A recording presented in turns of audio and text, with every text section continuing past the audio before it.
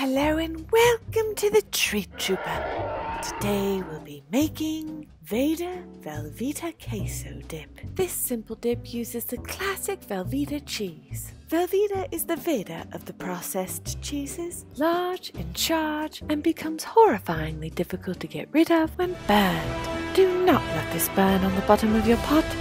You will regret it.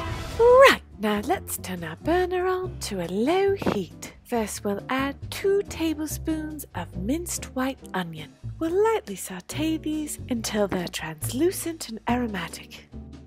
Next, we'll add 1 can of diced tomatoes with chilies. Now, we'll want to add our tomatoes first so the Velveeta is not directly on the heat because, well, we've already said the Velveeta must maintain the high ground. Then give those tomatoes a stir and let them cook for a few minutes so a bit of the liquid evaporates.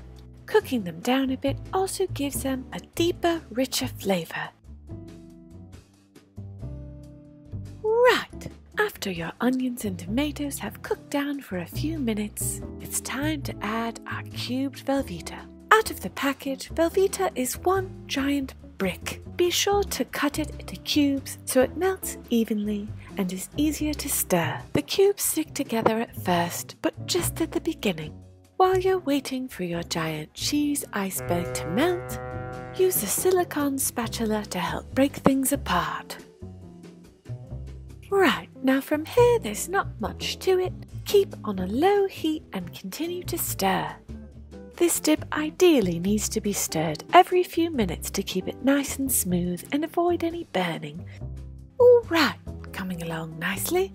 It's melting up and combining, getting nice and melty. Now we'll add some diced green chilies for a bit of extra heat. You can skip this step if the chilies included in the canned tomatoes are enough for you. Now we'll give that a good stir until thoroughly melted and mixed. This is a perfect appetizer for an at home gathering like watching sports. Everyone's in the kitchen already chatting away, so you can stay, stir, and socialise. oh, yes, what a lovely aroma! Now, as our trooper tailgate's not for a few hours, incessantly stirring a dip on your own could be a boring affair, but not for our trooper.